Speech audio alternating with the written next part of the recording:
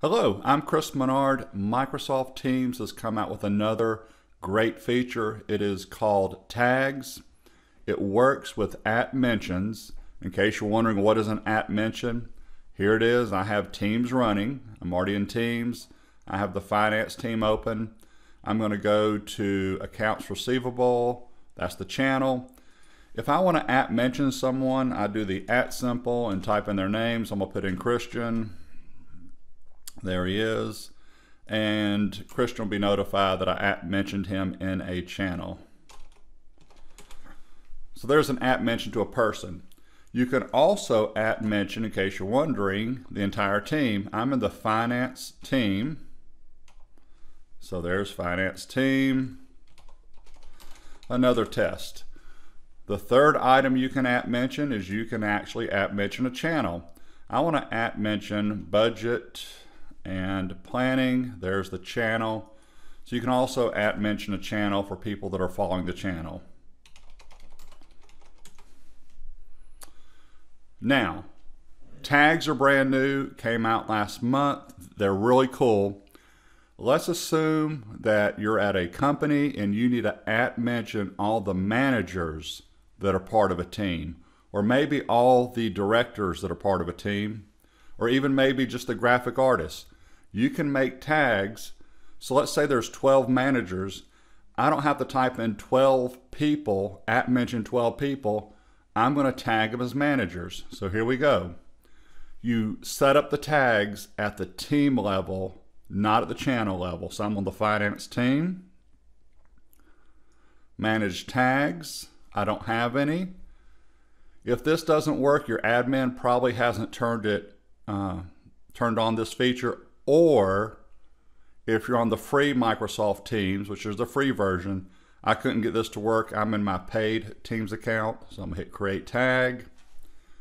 I'm gonna name this managers. Who do I wanna put in this? Let's assume that I have 50 people that are part of the finance team. I'm gonna just put in Christian for now. I would keep typing in the names of the 12 managers if there were 12 managers. Click on create. So the tag is called managers. Let's go see if that works and then I'll make one more. At managers, it tells me how many people have this tag. It says one. Can we, can we meet later this week? So I just sent that to all the managers. If you're a hospital an example of tags is you might put all the physicians as a tag called physicians. You could even break that up and put um, heart specialists or radiologists. You can have as many tags as you want. I'll answer down in the comments below where this runs out, but it's a lot. Uh, you could have, again, at the hospital, you could put all the nurses as a tag, back to a company. If I had graphic artists, that were part of a team, I might want to do a create a tag for graphic artists or graphic designers. One more tag, again, it's at the team level, not at the channel level. Manage tags, create tag. This one is going to be um, graphic designers. Who do you want to put in here? Again, I would sit here and type in all the names you can always come back here and add and remove people, create. So now Christian is actually a member of two different tags. He's a member of graphic designers and managers. So at graphic designers.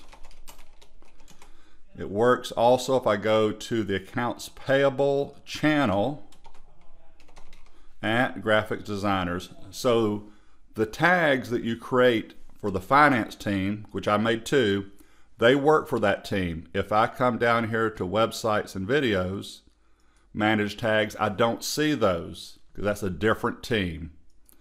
Anyway, down in the body of my YouTube video, in the description, I'll answer a bunch of questions that you may already have.